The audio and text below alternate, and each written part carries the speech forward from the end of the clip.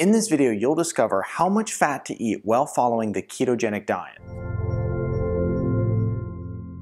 Hi ladies and gentlemen, I'm Dr. Zyrowski and welcome back to the channel. If you're new to the channel, it is a pleasure to have you here. Be sure to subscribe, hit that bell notification, join our notification community so I can help you excel your health and your life. In this video, we're talking about how much fat do I eat on the ketogenic diet? This is a common question that we get around here, and so I wanna help you figure out how much fat you're supposed to be eating and then give you some other tips around consuming fat on the ketogenic diet so you can have absolute success with this diet.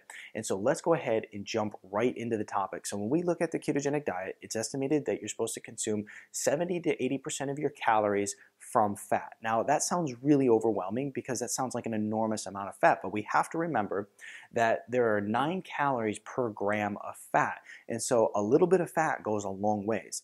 Now, the other thing that we have to realize here is that um, a lot of people get thrown off by this a little bit, but when you say 70 to 80% here, you have to convert this into grams to truly know how much fat you're supposed to be eating because we don't measure our food in percentages. And so the first step in this whole process is figuring out what your caloric intake is. Now, when we look at every person as an individual, you know, a lot of people will come to this video and they'll be looking for the exact number that they're supposed to eat, but everybody has a different amount of calories that they're burning on a daily basis, right? There's a lot of factors that go into it. What's your age? What's your height? What's your physical activity? You know, what are your goals? Are you trying to actually lose weight? Are you trying to gain some muscle? And so you have to figure all this out in order to really dial in how much fat you should consume. And so once you figure out what your caloric intake should be on a regular basis, then you can actually do the equation. And here's how this equation looks to really dial in your grams of fat. So let's say that, for example, you're taking in 2,000 calories per day, you times that by 0.7 for 70%, and you come out to find that you're supposed to be consuming 1,400 calories of fat per day. Okay, well, there's nine calories in each gram of fat, so you divide that by nine, and you end up with 155 grams of fat. So here's the deal. Once again, we want to really know what your needs are. And so let's say you're trying to actually lose weight while on the ketogenic diet. You might want to throw a little bit of calorie deficit in there, throw in a 10 or 20% caloric deficit.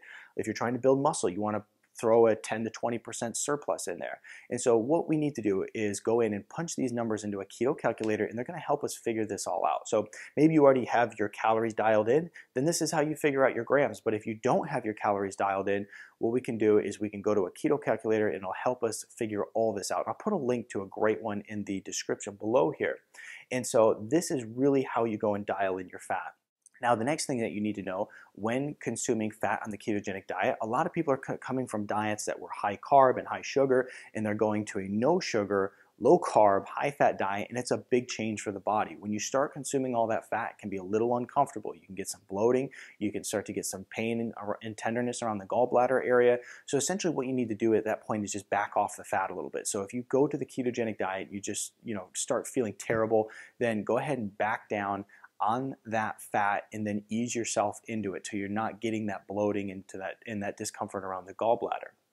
The other thing that we have to know around the topic of fat in the keto diet is simply that as we become keto adapted, essentially what happens is our body becomes much more efficient at burning that fat for energy.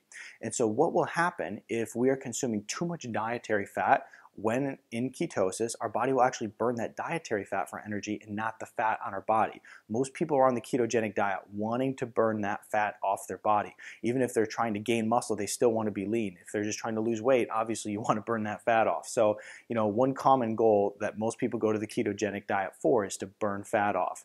And so if we are fat adapted, we will probably have to pull that fat back so we actually switch from burning all the dietary fat and start burning fat on our body. A lot of people say, well, you know, I'm doing the ketogenic diet but not getting any results. You can't be consuming too much dietary fat. So that's why you have to really dial it in and then, of course, pull it back if you're still not burning your fat for energy.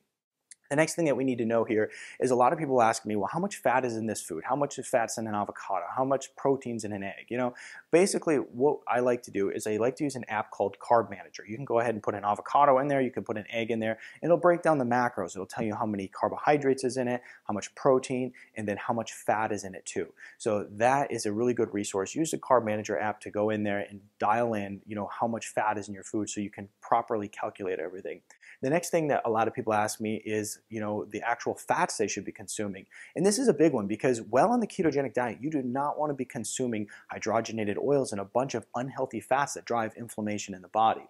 And so what I will do is in the description here is I will put a food list. So I will have all the different great fats that you should consume well on the ketogenic diet and make sure that you stay away from the bad ones that are actually going to just mess you up. And so the uh, last thing, and I already mentioned this, but I'll also put that keto calculator in the description below as well. So if you have any questions, put them in the comment section below here.